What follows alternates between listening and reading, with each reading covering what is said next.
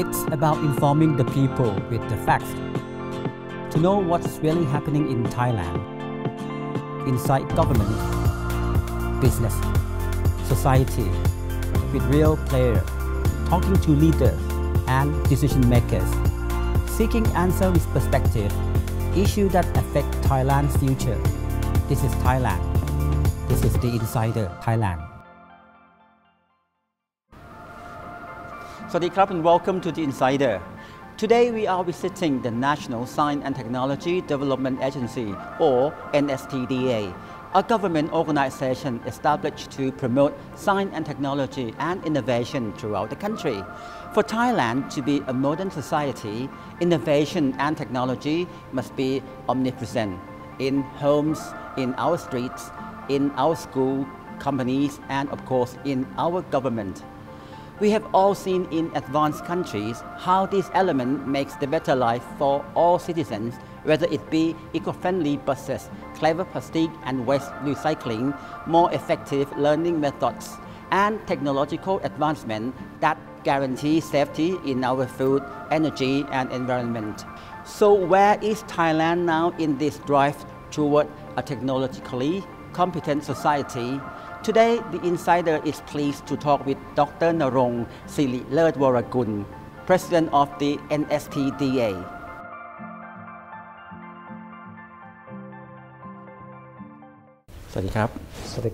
Well, thank you very much for joining the Insider. Uh, science and technology and innovation are very important in the world now today. Uh, would you mind sharing with us the role of the um, National Science Technology Development Agency? Uh, as you know that NASDA stands for the National Science and Technology Development Agency. We are the National Research Center under the Ministry of Science and Technology. Mm-hmm. we consist of four national research centers. The first one is the uh, research center on the biotechnology and genetic engineering. Technology. Yep. The second one is metal and material technology centers. The third one is the computer and software technology centers. We call it NECTEC.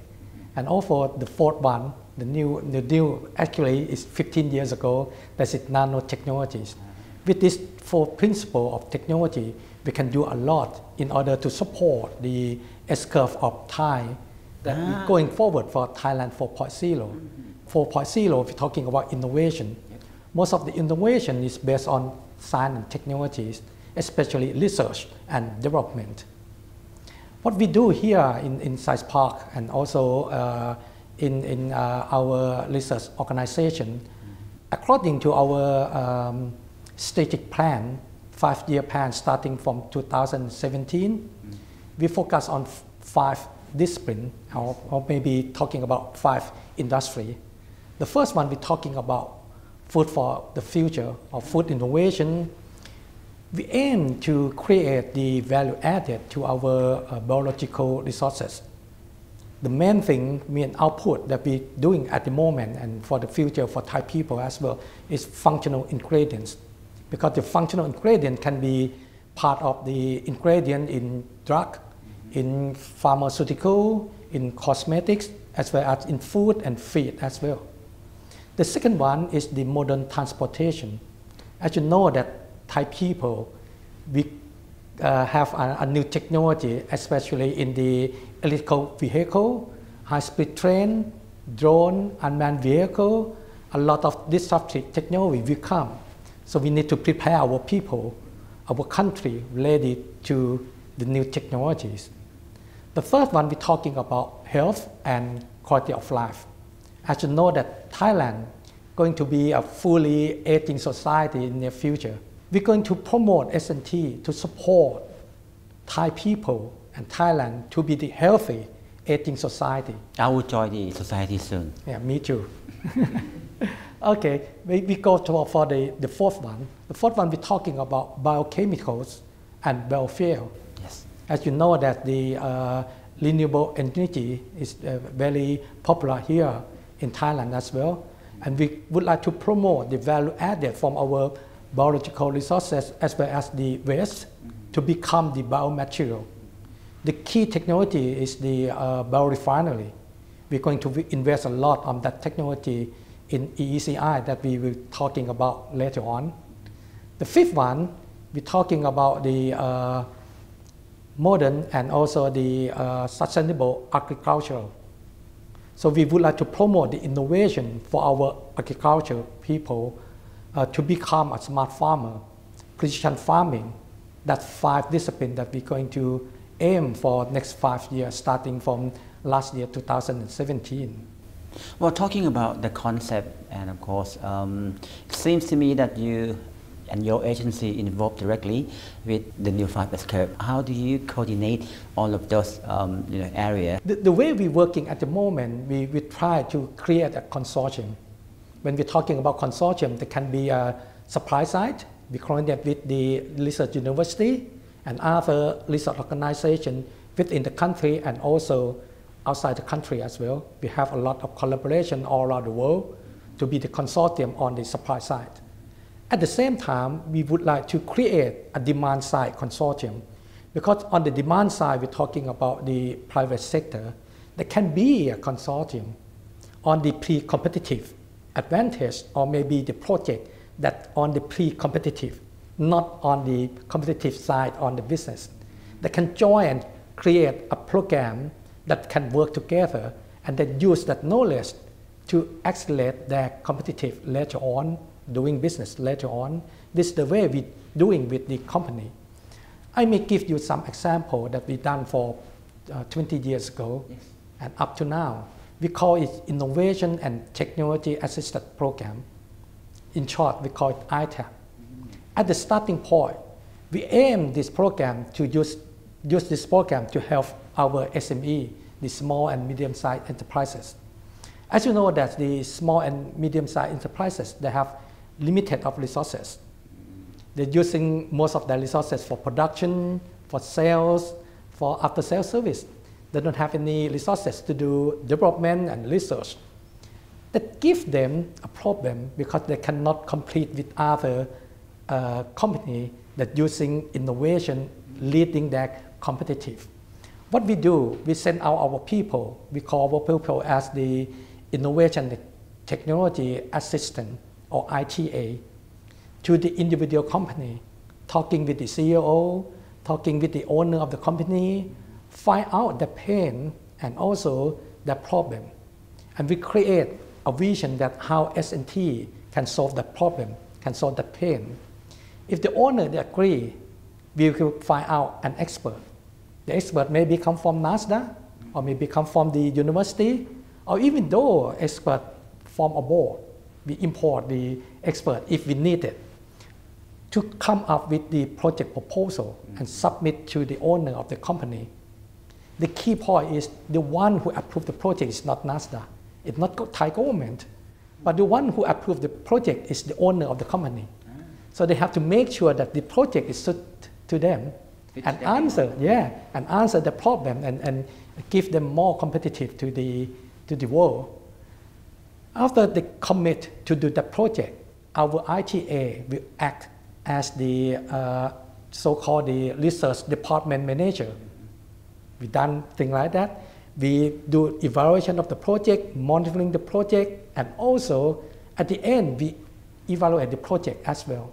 And we ask the third party, maybe other expert, to evaluate the project to see is it effective to do some more or maybe ending the project. After that, we will uh, reimburse the, the expense of that project, half of that expense that they spend on that project, but up to uh, 400,000 uh, baht per project. So in that case, we share the risk because SME we said that oh, doing research and development is risk taking. Mm-hmm. We, we don't have any money, so that you do first. If the project is finished, we will support you or subsidize you half of the expense of the project. At the moment, the government, especially this government, do support a lot in this program. Since 2016, we taking we are taking care of about 400 projects a year. We up to a thousand in next year 2016. It's a thousand pro- project. For 2017 last year, it go up to 1,500 or 1,500 projects. And we aim this year not more than 2,000. We graduate uh, very fast on the number of projects. And on the monitoring and also the survey that done by the Chamber of Commerce University, it says that one baht that you spend on this program, you will return 7.3 baht within One a baht. year. One baht will get the return of 7.3. Yeah, within a year. How could they do that? Yeah, because of SME in Thailand at the moment that they're using conventional technologies. Once we improve that technology, we return very fast.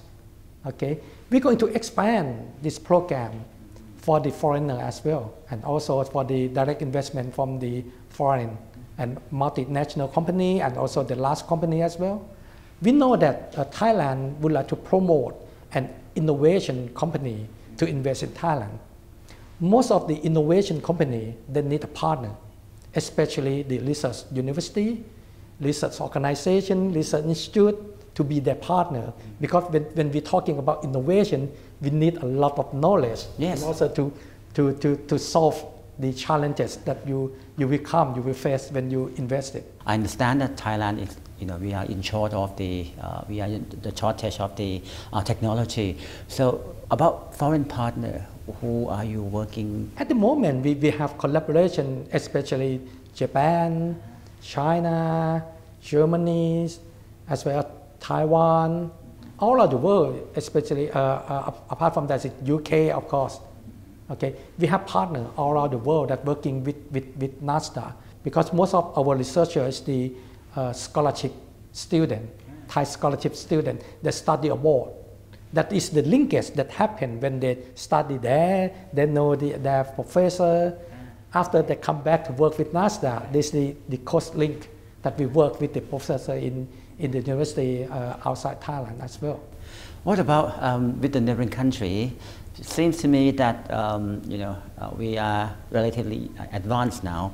Uh, ha- have we provided the assistance, uh, you know, for neighboring country? Okay, when we're talking about this area, we call it uh, CLMV. Okay, mostly what we done, we accept the student or maybe the researcher to come here to NASDA here in this area we call it Thailand Science Park to do their postdoc or maybe to train with our technologies. So we, we worked for, for several years. So most of the people we train from, from here come back to their country. This is the connection that we, we, we got as well. So you're talking about students from uh, Cambodia, Laos, um, Myanmar, Myanmar, and Vietnam, Vietnam. right? So this is quite. I mean, I mean, so this serves the government policy of leaving no one behind quite well. And what about the um, EEC at the moment? Because the government places particular importance on the EEC in order to, to, you know, to be the new engine growth of the country's economy. How your organization, um, you know, related to or involved with the EEC? Okay, because before we go into EEC, we have to know the background of NASDA. Okay. Why we, we have assigned, was assigned by the government to, to run the EECI. At this area, we call it Thailand Science Park. Yep. Yep. Thailand Science Park is about 80 acre that we're running here. It's about uh, 90 company doing research here as a tenants, working closely with NASDA. Some of them are multinational company. Some of Name- them can, can you name the company? uh, SCG, PTT, Polyplastic, and also we have small company and startup here as well. And also we're running software park. The software park is at Jang Road. So we run it for more than 15 years here. 15 years already. Yeah, 15 years already. What we provide to the industry and also the company, we provide the uh, consultancies, we provide the co-research, and also the, the research that, that they hire us or maybe uh, support us some money to do research for them as well. Apart from that, we, we provide training, testing, calibration, all kind of services that help them to accelerate them to do research here in Science Park. And also the one who are working outside Science Park, we also provide services as well. The Ministry of Science and Technology promote the rural Science Park in Chiang Mai, Khon Kaen, and Songkhla. Another three that we are going to open maybe next year or next two years. Once we introduce the Thailand 4.0, as I mentioned before, that the key word is innovation. So we need to move from research and development, move from prototype to be the product, from the lab to the market. Yes. We need a translational research Yes. to translate from the lab to the industry. That's why ESI is going to be. We call it innovation hub. In that area, we're going to do a lot of translational research. We're going to provide a lot of national quality infrastructure. When we're talking about national quality infrastructure, we're talking about methodologies, testing, standard, quality. We're going to provide everything over there. And we're going to build a pilot plant, demonstration plant, a huge demonstration plant going to be there to scale up our product or prototype in the lab scale to the industrial scale. So we would like to working closely with the industry. We have a lot of pipeline, a prototype pipeline in the research organization as well as the research university in Thailand. We can join together with the industry and upscale it using the pilot plant that we're going to produce in EECI. After that, after we do optimization, we can move all the people and all the technology to build a factory and do a new business. In our aim, we would like to introduce a new economics to the country, a new industry to the country, because we know that if we own the same industry as we done previous time, we try to upgrade them, we try to do how to call it the productivities, we cannot overcome the middle income trap. If we want to overcome the middle income trap using innovation, we have to promote a new industry to Thai people, especially on the bio-based economy, digital-based economy that we're going to do over there in, in EECI to support the policy of, of, of uh, our government. Before we go any further, can you outline the, the, the product, you know, um, that been translated from, from laboratory to factory? Okay, some of them is enzyme. We're using our microorganism. Uh, organism. You may know that in here, Thailand Science Park, we host about 80,000 uh, microorganisms. Here we call it a microbe bank. Yeah, this is one of the uh, Thailand uh, bioresources.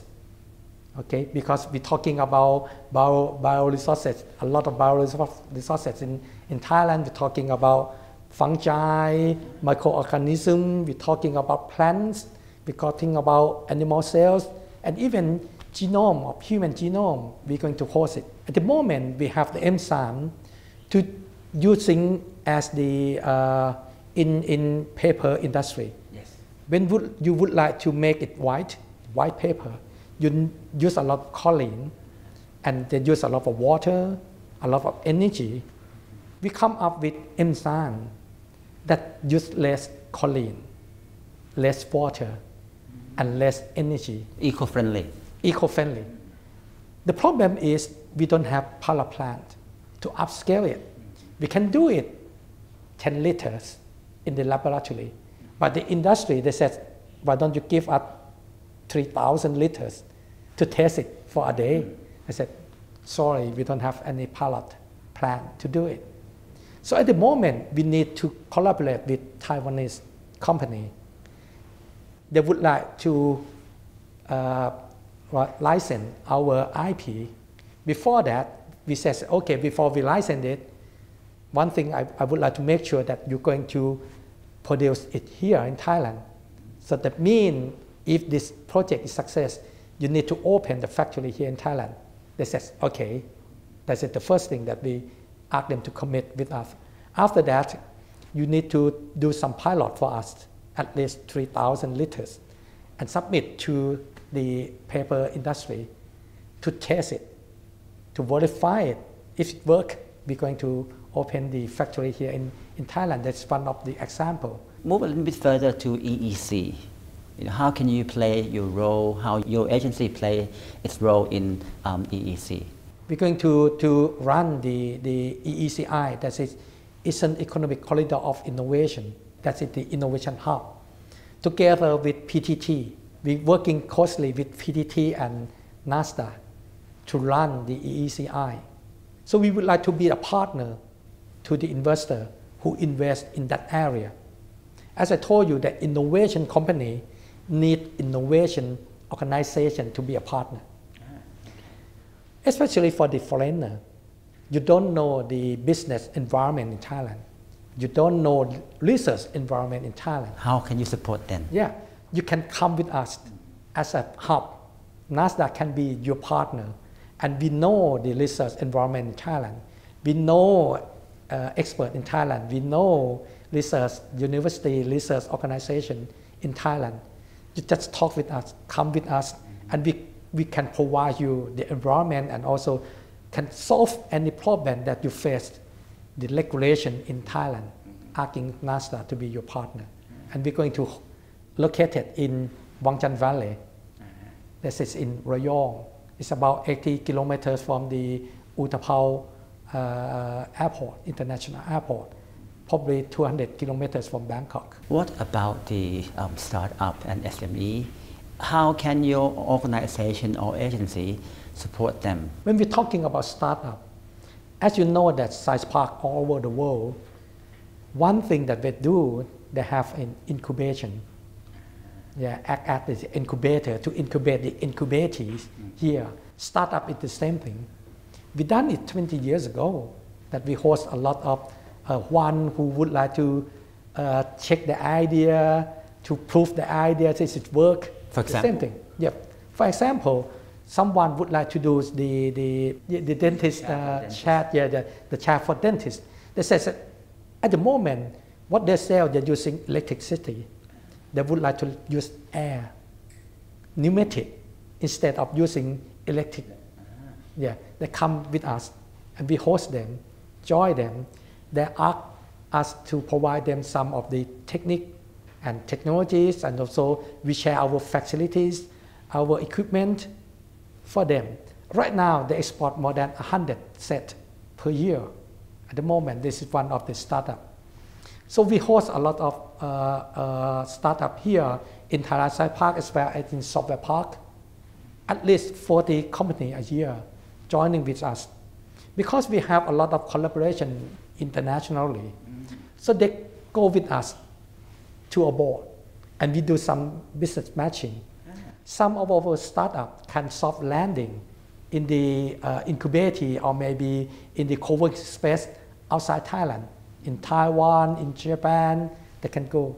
As well as the startup in other country can soft landing at Science Park and also in Software Park with our uh, collaboration and networking. Wow, very impressive. You are not just providing them the technology, but also the uh, business matching, as you have mentioned. Well, indeed, the National Science Technology um, Development Agency has played such a vital role in uh, not just the country's economy, but also um, the Thai people life and well-being. So thank you very much for joining us today. Thank you.